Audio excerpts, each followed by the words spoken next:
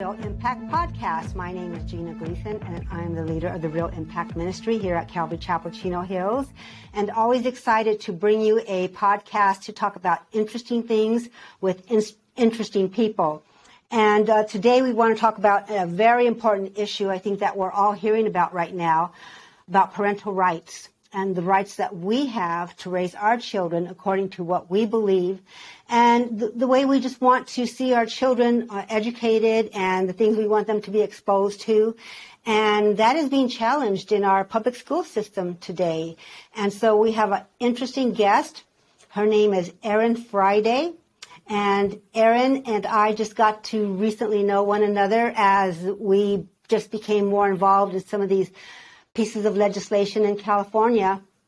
And she has a very interesting story, a heartbreaking story, but has victory at the end. So I'm really excited to talk with Erin because you all know what the schools are doing right now. Kids are transitioning to the opposite gender. Parents don't know. There's lawsuits, especially in California. And so we want to dive a little bit into that so that way we know our parents are educated and informed and they know what to look for when their child is in public school and being exposed to these types of issues. So, Erin, welcome. So glad to have you with me today. Thank you so much. Okay, good. Well, thank you. Um, you have had quite a um, initiative process right into this whole transgender mania that's been going on, not only in California, but across the country. And it's personally affected you, your daughter, your family. And um, it was just a strain and something you didn't expect. Is that correct? Uh, absolutely. I don't think I would have uh, imagined the journey that we went through um, with my daughter. Yeah, so tell us a little bit about it because um, not everyone has heard your story, but it's a very compelling story, and I just love the victory that we have at the end for you and your family. Yeah, I was very lucky. Uh, so my daughter in seventh grade had her sex ed uh, comprehensive sex curriculum at her public school. And at the time, it was five hours, so an hour a day. And I trusted the teachers because I knew them. I knew them personally. And uh, what I didn't know is that a third party comes in to teach sex ed to our kids.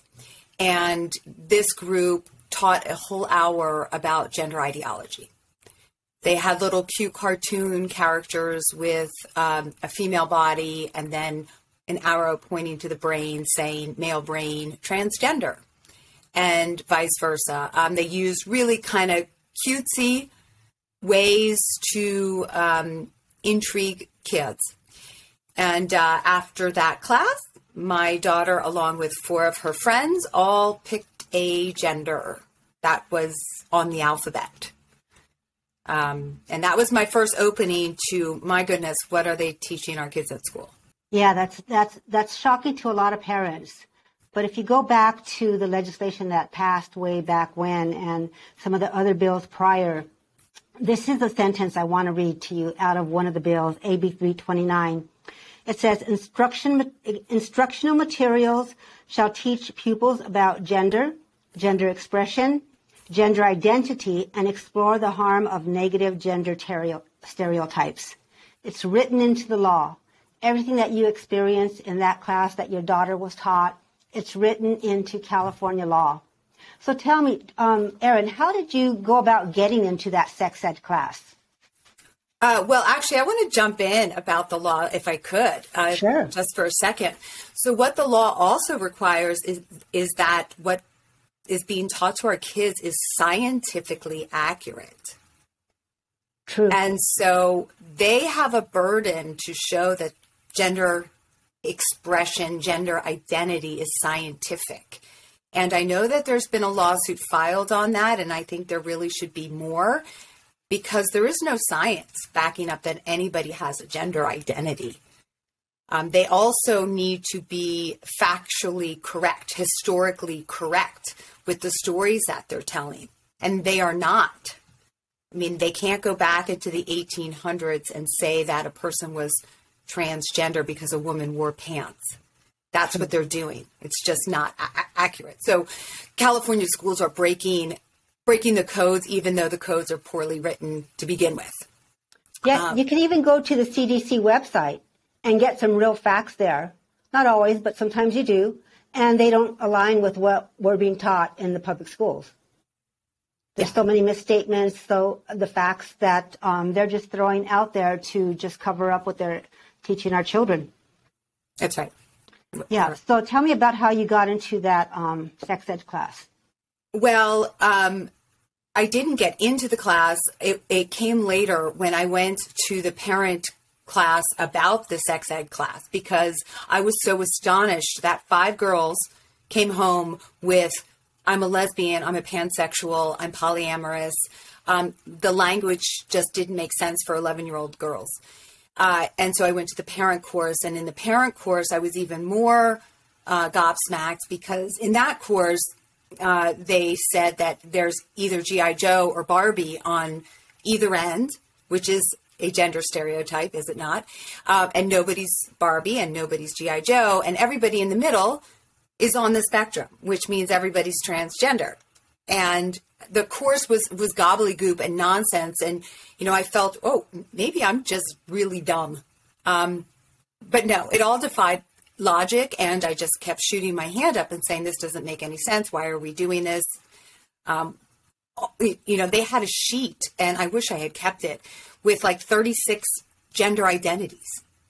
They were nonsensical, and that was the opening to oh my gosh, our kids are getting indoctrinated at school. Um, and then we fast forward a little bit, and the indoctrination worked, you know, wonders with my daughter. She went from polyamorous, wait, no, she started at pansexual, then she went to lesbian, um, then she went to polyamorous, which makes no sense because she wasn't sexually active. And um, during the pandemic, she landed on transgender uh, which is this trajectory is pretty normal. These girls bounce to you know non-binary to trans, lesbian to trans. Um, but it all, but you know, the holy grail is trans. That's where you end, and that's where then it's real, you know, according to the ideologues. So, how long was she experimenting with these other ideas about gender before you actually found out? Uh, well, I found out when during the pandemic when she was on online school, and the school changed her name to a male name and to male pronouns. And she was, you know, in class down the hall from me, and I heard them using different names. Uh, so that was, you know, one of the openings. Although there was already smattering, like I said, when she came home with a different identity, and I you know, I kind of brushed it off. I did think, thought, you know, kids being kids. Um, that was a huge mistake. And how did she explain it to you? Why was she going down these different paths with these different identities? Why, what was she saying about herself and why she was doing it? Well, that's the really interesting part. They really can't express what any of this means. And so when I queried her, what does it mean you're a boy. Her responses were, I don't like my breasts. I don't like my period. And I responded, Well, you just told me why you don't like being a girl. Why are you a boy? Mm-hmm. And there was no answer to that. And there usually can't be an answer that, to that because one cannot feel the other sex. I cannot feel like a dog. Right. Because I'm not a dog. I don't know what they feel like. Right. So tell me about the other girls that she was friends with at the time and the parents and the families. How are they looking at this? At this, were you guys were you talking together? Were there you know discussions amongst the parents, or what was happening with the community? Not not really, because the pandemic had started, um, and so the girls seemed to be much more isolated than the boys, and so we didn't really see parents we didn't really see um, other kids. Um, my daughter did become friends with kids from another school who took on a trans identity, and I spoke to those parents, and I was again gobsmacked by their lack of curiosity and their flippant response. Um, you know, in one particular case, uh, the child was engaged in, in, in drug use and, uh, you know, rampant pornography. And her mother just was like, oh, what are we going to do? And in fact, I saw that the child, and she's a child, um, she was trying to sell her photographs to a sugar daddy. And um, the mom didn't think anything of it. I, of course, called the police, but I didn't have an action. She did. And, you know, so it, it tells you the caliber of the parent in this case um, was very different and removed from the way I parent. And so, as you progressed and you found out more and more about what she was doing, and you objected, and you approached the school, tell me what happened at that point.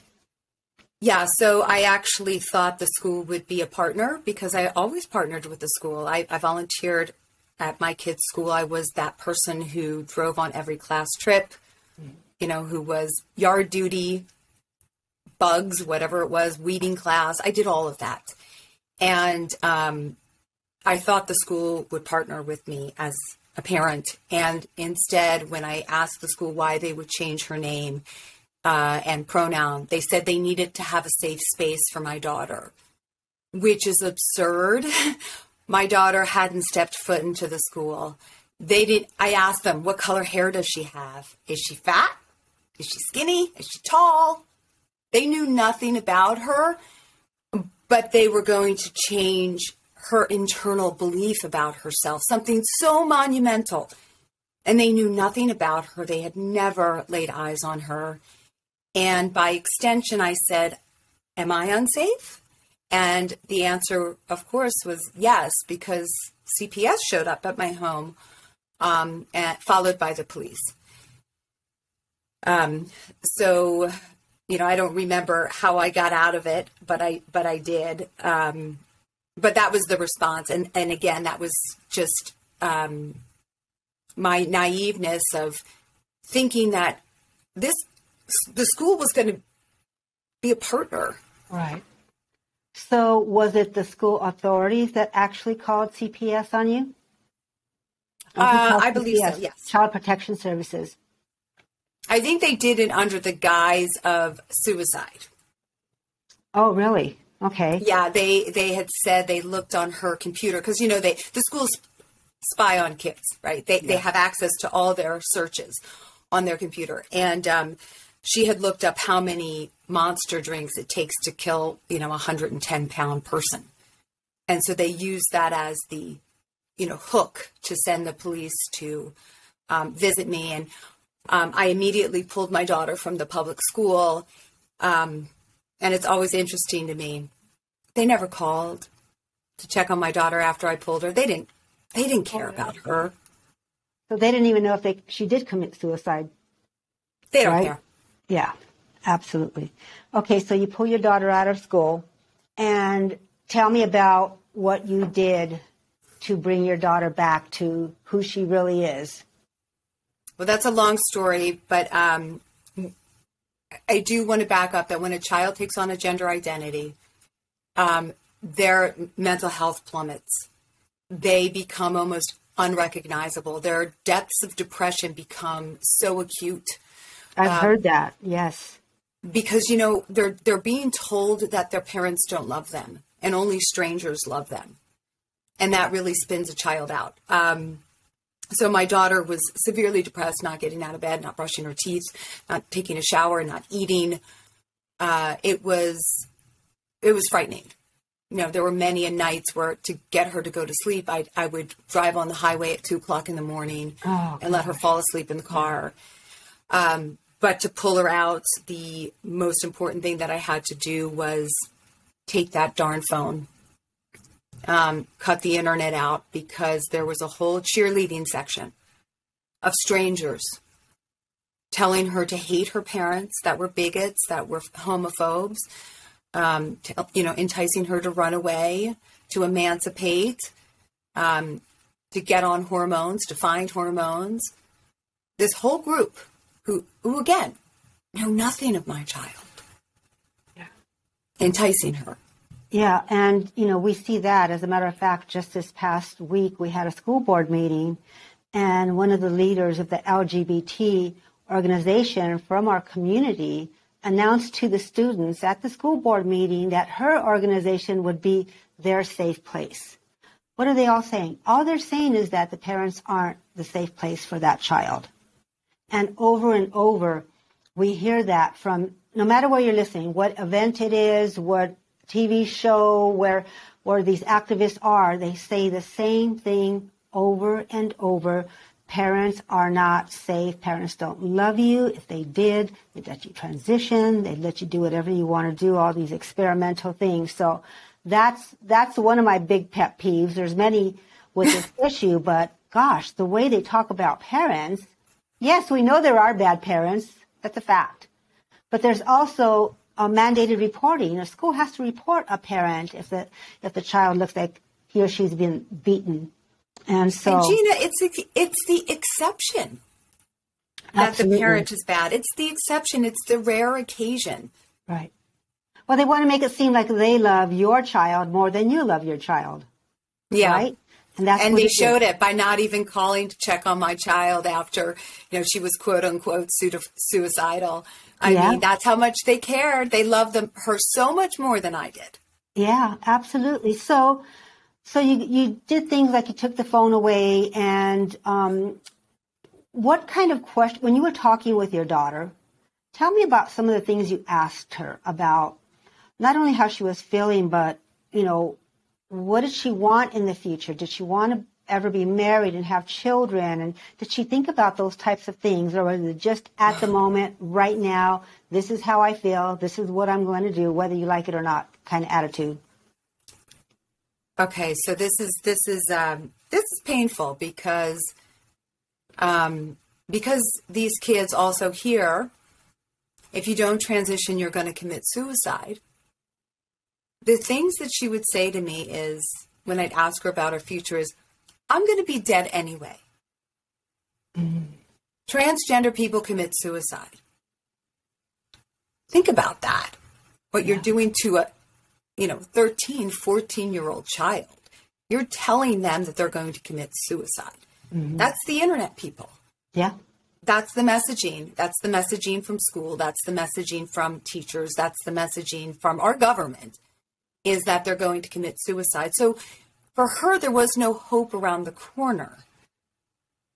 Um, and that also leads to the to the depression. There's no speaking to a child too. You can't speak to them logically because their brain has been taken over by an ideology and, and I would say a cult. Um, Absolutely, really, a cult is the perfect word. Brainwashing, and it, it's hard. I mean, we've listened to those stories on um, TV about the cults that um, just take over grown adults. And these adults are brainwashed, kill themselves, or, or whatever tragic ending they have. And our kids at that age truly don't understand that. So, as she um, came around to understanding um, a little bit more about what you wanted for her, did she see, did she really realize what was really happening in the trans community? Did she ever see the pictures of the girls who have removed removed their breasts or heard the stories about the boys who are removed their genitor, genitals and what medical impact that has had upon their body? Do they ever talk about that aspect of it? Well, we didn't. I made her listen to it for sure and I was very um, direct in how I handled this. Once once she got her mental health to a point where she wasn't so extremely depressed, um, I made it very clear to her, her on how I felt about this. I left. I had a giant poster of the girl who had cuts all over her stomach and and arms, like just cutting all the way down her arms, and then she has the two last cuts across her breasts. And, and that poster sat in my front room. Mm. So she could see that they are cutting up mentally unwell people. Right. You know, that the surgeon did the last cut on this on this child. So I made it very clear about what the harm is to the body. And I also, um, you know, I tried everything. I don't know what resonated, and I don't. I don't think I'll know until she's in her twenties. Um, but these kids too also think that they're being progressive and like sticking it to the man, or right. you know, we're we're we're we're uh, social justice warriors, and I would kind of back into it and and talk about the opioid crisis and and who made all the money on that. Yeah. Guess what? The white man that you're trying to say is the bad man. Mm-hmm. Um, same thing with this. I mean, this is big pharma. Pharma all over again. They're the ones who are reaping all the benefits. People are investing in their losses of body parts. Right. And kids don't like to be taken advantage of. It's, you know, I, I talked about Juuls and the fact that they put candy flavored stuff in Juuls to entice you. Like, and you guys fell for it. Like, how stupid. Mm-hmm. Yeah. Like, you have to attract. I had to like reach down to like what would affect a 13 year old, 14 year old. Mm-hmm. Um, because telling them about science and saying puberty blockers are dangerous and they can cause bone right. density and you're not going to have a baby. I don't ever want to have a baby. None of that stuff works. Mm-hmm. Um, you kind of have to go to their level. So I, um, I played podcasts about cults. And then after like two or three of them, I said, Hey, some people think transgenderism is a cult and I walked away. yeah, good tactic. Yeah. And and the thing about it is that um, it's rampant. It's in the public schools. It's on social media. It's on regular TV. You can't. I don't even watch regular TV anymore. You can't watch a commercial without seeing something that's just so outrageous. And my son doesn't even have a TV in his house. You know, he has five young kids because you just can't trust the TV nowadays because it's it's everywhere. So, well, thank God you were able to, to pull your daughter out of this. Tell us about her today. How is she doing today? Well, she's a happy 16 year old and she likes her body parts maybe a little too much right now. Can you go somewhere in the middle? Um, but yeah, she's, you know, it stays with her though, um, because you get catapulted into stardom when you're a, a trans kid. Like you become amongst, special amongst the peers, right? Uh, and the teachers, you know, you get love bombed. You're so brave. You're so amazing. Oh. And then you become a regular again. And that's hard. And also, the kids who pretended to like you because you're trans didn't really like you. Yeah. And so you you carry this. So I'm I'm really hoping that she gets to be her own person and really grab her real identity when she goes off to college because you know this stays with these kids. And that's why it's hard for them to switch. Um you know they have mud on their face. Like everyone cheered you as being this special person and now you're not anymore. It's hard for a teenager does she keep in touch with some of the kids that were in her prior circle the kids at trans or the kids that were in the public school do you know i wouldn't allow it Okay, no. Not that I know of, unless she's sneaking behind me. No. Right. So let's talk about that. You you took the phone away from her, and um, you uh, fr- none of the same friends. Um, what else did you do? Switch schools. Uh, spent a lot of time with family, uh, and, and family, not just us. Like she needed to go see the aunts and uncles the grandparents who knew her as a little girl. Mm-hmm. Um, we also uh, took her to national parks to to you know learn about what's reality, beauty, mm-hmm. how strong your body is. You can hike to the top of this mountain. Right. Well, how amazing it is to be a woman. Yeah. Well, it sounds like you did all the right things to to bring her back. And do you have other children? I do. I have a son who's not much older than she is, um, which and is how you did know, he it, react to all of what she was going through? Uh, it was really hard on him because mm-hmm. my daughter was horrible to me, mm. uh, vicious. Um, really? They become when kids are depressed, they become really angry, and it all was shot at me. Horrible, horrible things she said to me. Um, and my son watched me crumble, mm. and he really disliked her for that. Our whole fa- transgenderism affects the whole entire family. It affects the marriage. So. It affects the siblings. It affects your household. Like dinners became dark. Every there was a cloud, and he mm. he he got short shrift. I mean, I was a really fun mom. We had a really fun household, and that disappeared. Yeah, I can imagine that was just such a burden. And so your husband, did you did you were you the one that did all the research? did your husband support you in that and what was that like? Well, I did all the work. Okay. As as mom mom normally does. Um, Mama rescue, right? Yeah. Yeah, and and some of it was so dark. Um but I don't think my husband could stomach some of it. Mm. And I think it's a cop out. Uh, but I have to say, I am blessed in that I was able to quit my job and, uh, you know, I, I'm now an advocate and I spend a lot of money being an advocate, my own money. And that's a gift that he's given me. Wonderful. But I think, um, I really think more of the dads um, need to stand up, even if it's unsavory and uncomfortable. We need them. Absolutely. And I think that's just the way it is overall in any of these things that we're dealing with because, you know, we're, her and I are on a lot of phone calls together with other leaders, and most of the people on the call are women. Mm-hmm. Um, and so I, I don't know if it's just this this whole thing about um, just the intuition of being a mother and knowing what our kids need and being able to read them and understand them maybe a little bit better.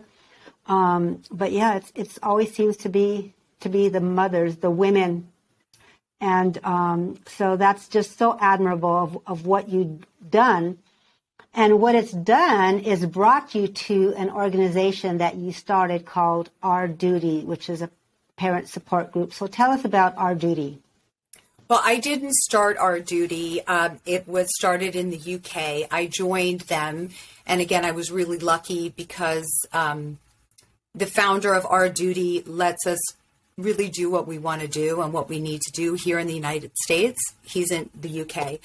I had joined every parent group I could think of when I first when I first uh, said, you know, I've got to I've got to do something to stop this because it's not good enough to save my child. And again, kind of going back to the female thing, like I feel like I'm a mother to all children, not just my own, and so I can't walk away. I'm compelled. Um, but this group really lets us be advocates, and I didn't want to have a group that was a support group where we we talked about our sorrows um, because there's already a group who does that and they do it very, very well. I'm an action person. I've got to wipe my tears away and figure out what I can do. Because to me, that is, you know, that's my calling, I guess. Right. Yeah, I'm, I'm with you on that. I'm an action person. You can go to a lot of conferences, listen to people talk, talk, and talk. But what's the end result? What are we going to do about it? So tell me, does your group has um, parents who are also dealing with uh, children who are gender confused, right? Mo- yes, most probably 99% of the parents in our group have a gender confused child. Some of them have kids who desisted, like me.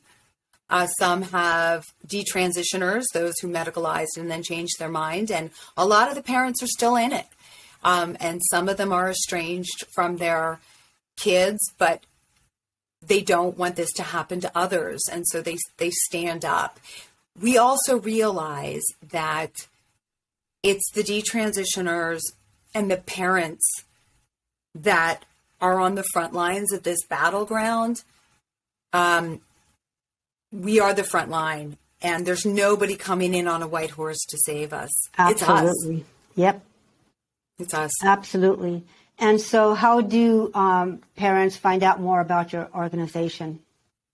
Uh, so they can go to ourduty.group and there's a contact sheet so people can sign in. And if people just want to help, support in any way, reach out. If you want to just be on the email list where we do calls to action, please reach out. Um, if you want to get simple information that you can pass out and educate to other people, we created all these fact sheets. They're one one or two pages, very simple. What's puberty? What what what are the problems with puberty blockers? Why is transgender not the same as being gay? Tell us about detransitioners. Very simple things. Um, I place them in all the free libraries, you know, around my neighborhood. I put them in free newspapers. I drive around with with them and just drop them off, you know, Starbucks. Who knows? Who you know, who's going to read them and and maybe pique them. Okay, that's wonderful. I hope parents take a look at your website. But now I want to move on to what you and I have been working on. We had a fantastic bill that was introduced by Assemblymember Bill Essayli, AB 1314. Tell us about that bill and the fight that you and I and others got involved in and what the end result was just this last couple of days. Well, the good news is that a bill was proposed that would return parents to their rightly position as parents and in the know. So this bill was very simple. All it said was that schools are required to let parents know if their child is struggling with gender at school. That's it. Really, really simple. Let simple. parents know. Short text. It was just fantastic. Yeah. Just, I mean, really a nothing bill, but really powerful because parents need to be involved. And, and every medical society says that. Even the ones that I don't like say that parents need to be involved right. in the decision to socially or medically transition their, their kids. Schools don't have the ability to understand what's going on with this child, whether this child has had trauma, depression. Parents don't have the opportunity, like I did, to pull their kid from that school. I mean, my daughter could be walking around right now with scars on her chest. Right. Uh, had she stayed at that school. Mm-hmm. So it was really simple. And I was really excited that Bill Essayli took it up. He was actually the last door that I knocked on when I was shopping for someone to author the bill. And I burst into tears when he said he would take it. Very bold, a freshman. Absolutely. Um, and, you know, I have to be honest, didn't think we were going to be able to pass it but I also didn't think the Democrats wouldn't hold a hearing. They didn't hold a hearing. Just shut parents down right from the get go um, with a nonsense basis. Yeah. So for, for people who don't understand the legislative process, when a bill is introduced, like 1314, the first step is to be assigned to a committee, and that committee has to have a hearing. Well, that first committee, the education committee, the um, leader of that uh, committee decided he was not even going to bring the bill in for a hearing. He was not going to give us a chance to make our case on why we believed this was a good bill, and even for them um, to make their case of why they didn't like the bill. But nope, they just shut us out. And so it was a big disappointment because we had a lot of plans. But we're not stopping there. And We're not going to talk in detail about what our plans are right now, but we're not giving up. We are determined to fight for parental rights. And so it's Erin and others in our, our group who are strategizing together, and we're going to push forward with this. So that's one bill, but kudos to Assemblymember Bill Essayli. He's bec- become our hero for all of us who have been, he's been just so bold and courageous. And he's done things that I haven't seen uh, legislator do forever. He showed up at the Chino Valley Unified School District board meeting last Thursday and presented his bill to our Board of Education. I've never seen that, but Bill did that. And so we're very grateful to him for, for doing that. But let's move on to one more bill that I think is really important uh, for parents to know about, and that's AB 655. Another problem that we have that uh, a bill that's been introduced. So let's talk about that, Erin. Tell tell everyone what you know about that. Well, bill. it's AB six six five. Did I say what did I say? It's yeah, six, six five. five. Yes. it's oh, okay. Six five. Yes. Um, so this bill is uh, really probably the worst bill that I've read, and I thought SB 107 was going to be the worst. But this bill, what it does is it permits a mental health provider to decide whether a 12 or older child goes to a residential shelter um, without any claim of abuse or harm to the child or harm by the child. So that means a school counselor can decide whether a seventh grader comes home from school that day. Exactly. Without any provocation.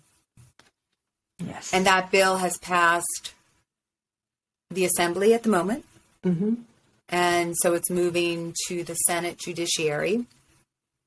And we need to stop this bill because this is state sanctioned kidnapping. There's no other word for it. Um, I'm already lining up to file a lawsuit against the state should they pass this bill.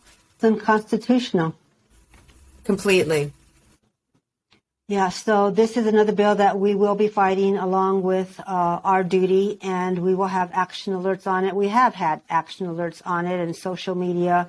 And um, I just want to thank James Gallagher, the assembly member up north, that um, he stood up and, and fought. Um, there was a couple of other Joe Joe Patterson um, stood in the assembly uh, assembly floor and um, they spoke up.